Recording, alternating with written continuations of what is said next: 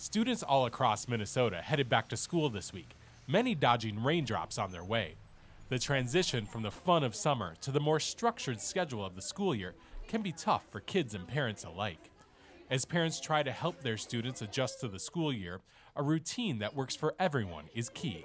Establishing those routines, being consistent with their routines. I, I think that's, uh, and, and not assuming that they know, um, that because you've talked about it, um, that they understand the verbal directions, actually walk through it. Um, okay, this is what morning is going to look like. This is what after school is going to look like. Um, this is how we're still going to have our mom and dad time with you.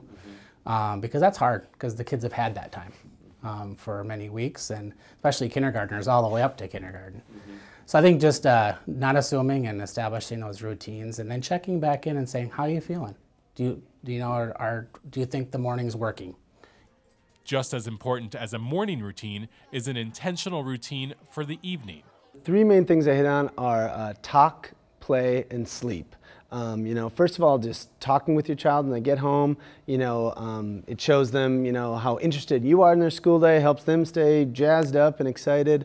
Um, and then also, you know, they're taking in lots of information and, you know, research shows that talking about it helps you remember those things. And then play, um, you know, for a lot of kids coming out of summer, all of a sudden this stuff feels very structured just fitting in some time to just have some very unstructured play in the evening can be can be really helpful. And then sleep you know it's exhausting. And um, they're probably on a little bit more of a schedule than they're used to.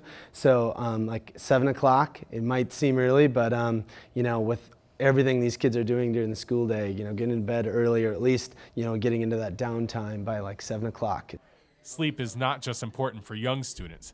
Parents of high school students also need to stress the importance of sleep to their teenagers. Have a, a, nightly schedule for how students, what time they go to bed, put some expectations on, maybe put um, rules on technology that at 9, 10 o'clock technology needs to be put aside or put out um, in a family space so that they're not up all night doing that in their room.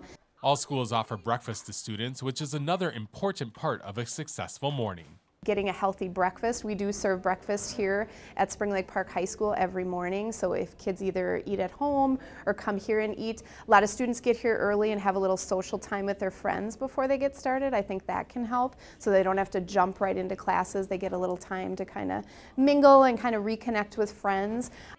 School is exhausting for all students, especially young children.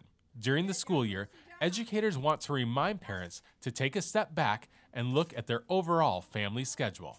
Not over, not overcommitting your family. Remembering, and prioritizing. What, what are we all about from four o'clock to eight o'clock? You know, and and maybe it's important sometimes for us adults to take a step back and reflect a little bit. Say, okay, what are we asking our family to do? The transition time can be tough for everyone, but soon kids, parents, and teachers will settle into a routine and focus on learning and growing. For North Metro TV News, Ben Hayle reporting.